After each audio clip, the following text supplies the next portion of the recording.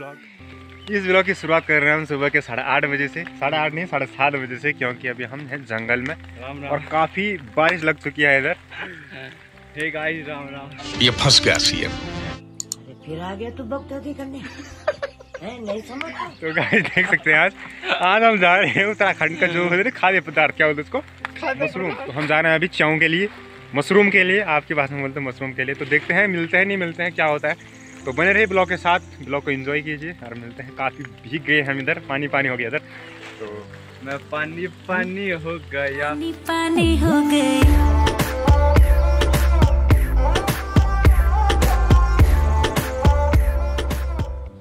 और हमको मिले हैं अभी हमारे दो सब्सक्राइबर हमारे भाई लोग ऊपर गाँव के। तो गाइस इनके बकरियाँ खो गई हैं। तो अपने बकरे का बारे में बताया कैसे बकरे थे कैसी थी वो बकरी? काली काली बकरी। थी। तो इनकी काली बकरी- काली थी।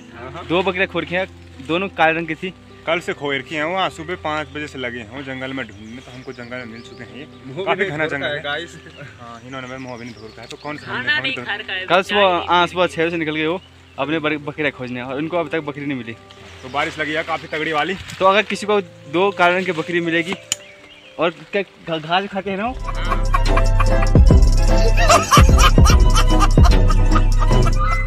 सो गाइज़ हम पहुँच चुके हैं अपने जंगल के काफ़ी अंदर तक। तो बारिश में तो पूरा क्या बोल रहे हैं यार भीग चुके हैं इधर। तो हमारे साथ हमारे भाई साहब तो ब्लॉग पर कंटिन्यू बने रहिए। पूरे भीग चुके हैं। बने रहिए ब्लॉग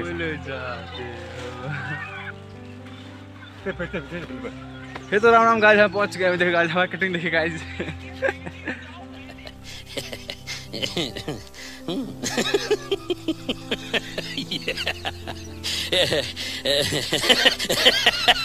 राम गाइस तो देखते आप गाइस।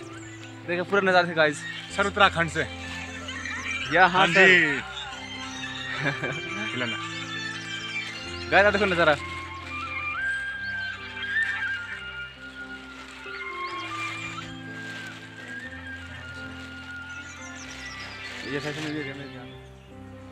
तेरू मेरे प्यार च पहली पहली बार। तो फाइनली गाइस हम पहुँच गए अपने अड्डे पे और यहाँ पे हमको चाव या मशरूम मिलते हैं। तो गाइस आज मैं पहले बार आया था भाई के साथ मशरूम को मशरूम को घेरने। लेकिन मशरूम घेरे नहीं, हमने पूरे इधर ये हो गया पूरा सड़क है। ये ये होता मशरूम, देखिए, छोटा सा मशरूम दिखाई हमको। ये गाइस ये ये होता है मशरूम।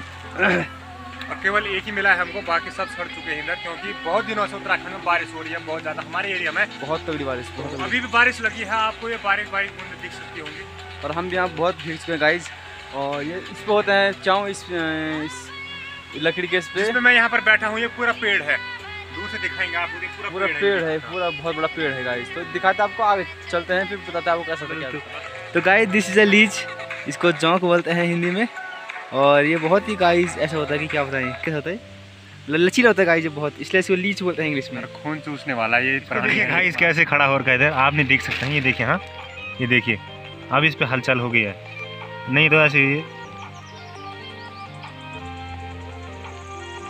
देखिए। तो गाइस हमको तो चौ मिनट नहीं पूरा सड़े थे हम जहाँ गए पूरे सड़े मिले हमको।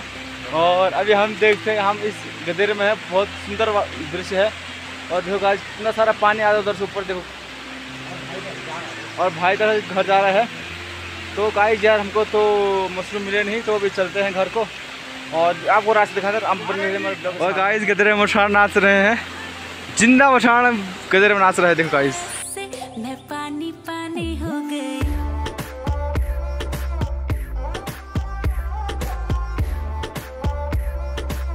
मैं पानी पानी। इमेज खराब काम गलत है न्यूज़ में नाम आता हर वीक फिर भी जहाँ से गुजरूं हर बंदी के मुँह फाइनली हम आ चुके हैं अपने इधर गाँव के धार में।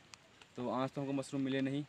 तो गाइज़ आप बने रहे हमारे ब्लॉग के साथ। कैसा लगा आपको ब्लॉग तो गाइज़ हम पूरे मशरूम सड़े थे। और तो आपको तो पता है मशरूम तो सड़े हैं हमारी किस्मत भी सड़ी है।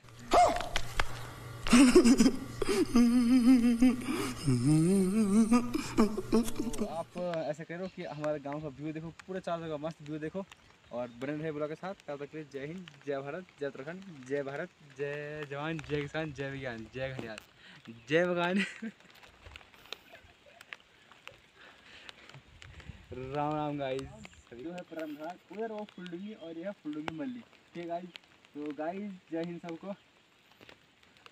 राम राम।